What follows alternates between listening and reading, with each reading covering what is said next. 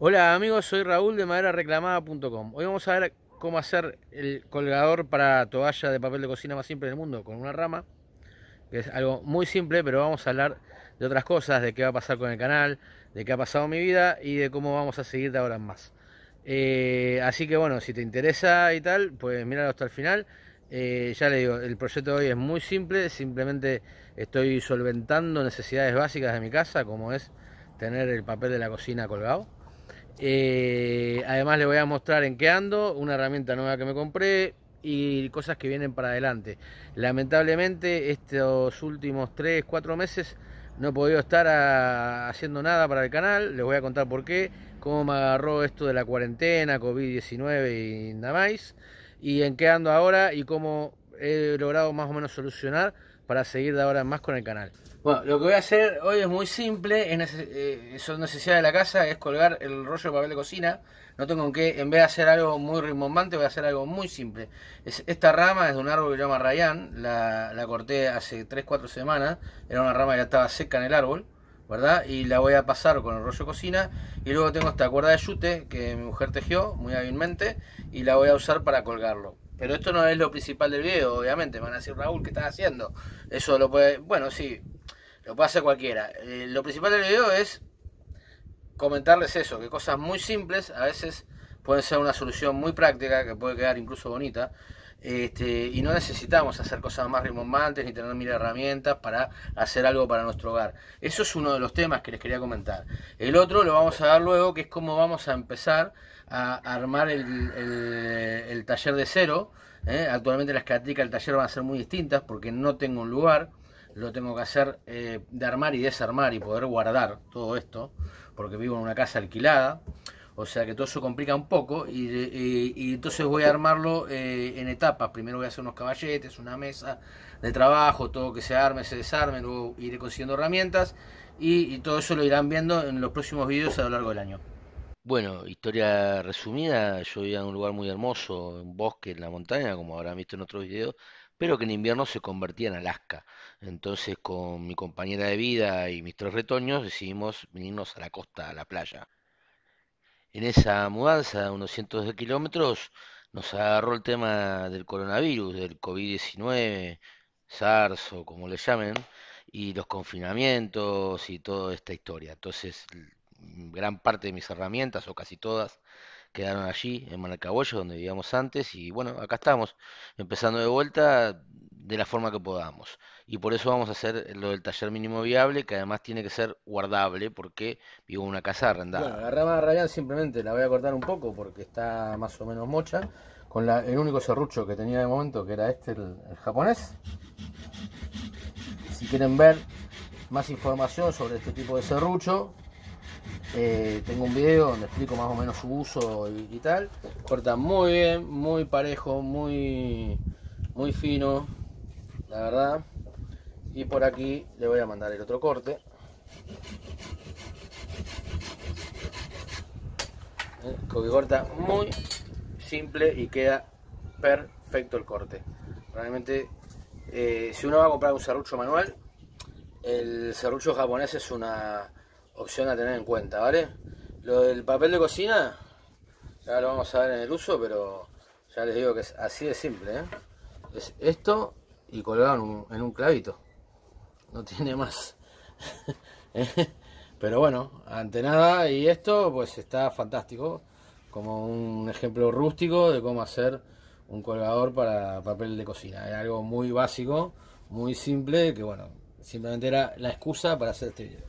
Este, este es mi banco actual de trabajo improvisado, que es un barril de roble de estos de vino, eh, porque vivo ahora en una zona donde hay muchas vid, vinos y tal, todos saben que los vinos de Chile son de los mejores del mundo. Eh, y esta es la primera herramienta que me compré, esa caja enorme, y bueno, es una, es una sierra, es una sierra circular, porque este, como habrán visto en mis videos, para mí es una de las herramientas más versátiles y prácticas que hay en la por lo menos para como yo entiendo la, la carpintería, ¿no? Para mí es un hobby, yo no soy, ya lo he dicho mil veces, la gente se piensa que soy profesional y, y tal, no, para mí es un hobby, pero bueno, he tenido muchas sierras circulares, bueno, muchas no, pero tres o cuatro he tenido. Y al comprar esta traté de minimizar los errores del pasado, porque sí, la compré, nadie me la regaló, ni me la enviaron.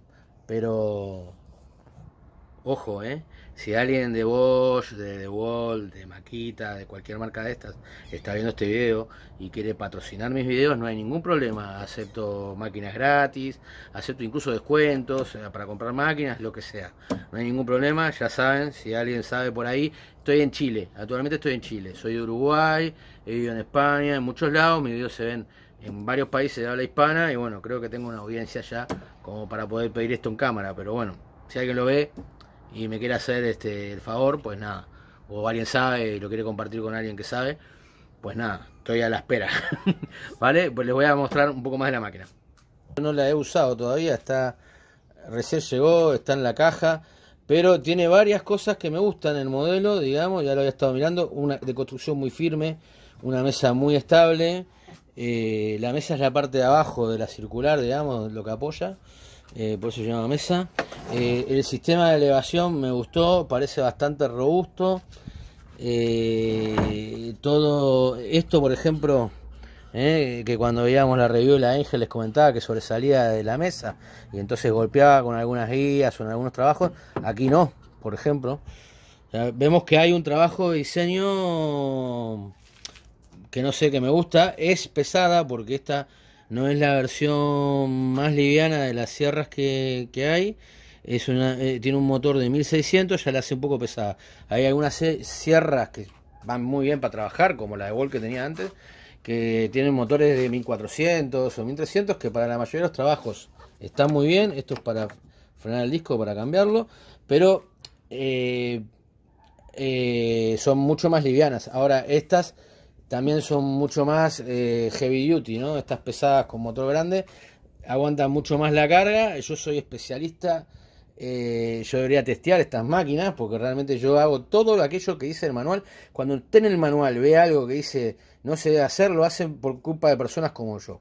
Yo experimento con las máquinas, hago muchas cosas que están fuera de norma, digamos, fuera de todo esto. Y bueno, eso conlleva a que a veces pues, pues como todo el mundo la cago y, rompo una máquina o bueno, el, esfuerzo extra, digamos, el, de realizar ciertos trabajos hacen que la máquina termine en malas condiciones. Así que bueno, esta es una máquina de la que espero bastante y de la que vamos a hacer varios videos haciendo cosas muy entretenidas con ella y, espero que nos dé para bastantes años de, trabajo. Eh, no es una máquina barata, pero tampoco es súper cara. Eh, a mí aquí en Chile esta máquina me salió en el entorno de los 100 euros, que creo que está súper bien de precio. Yo la compré de oferta, ¿eh? la compré con un 20% de, rebaja, pero pues, siempre trato de aprovechar esta. Y también venía con la cajota, que ah, en, el proyecto actual que tengo de tener un taller móvil y guardable. eso es todo amigos y espero verlos en un próximo video de maderareclamada.com. En el próximo video voy a hacer una tabla de picar, ya, ya la tengo hecha de hecho, tengo que editar el video este, y vamos a hablar un poco, aprovechando la excusa de la tabla de picar, como ya hice una en el canal, mucho mejor que la que voy a hacer ahora, que va a ser muy simple. Este, la voy a lijar con la angular, que ya me han visto hacerlo mil veces. Pero bueno, voy a explicar los pormenores de cómo se lija con lijadora, con, bueno, con la angular, galletero, esmeril, como quieran llamarle, estos de, mano, cómo se usa para lijar madera, eh, algunos trucos, algunas cositas que aprendí en el camino. Así que los espero en el próximo video. Aparte hay, un par de trucos más. A partir de ahora voy a tratar de en todos los videos dejarles un truco útil que va a estar aproximadamente al final. Cuestión de que se vean todo el video. Así que bueno, nos estamos viendo en un próximo video de madera reclamada. Muchas gracias por los minutos prestados. Hasta la próxima.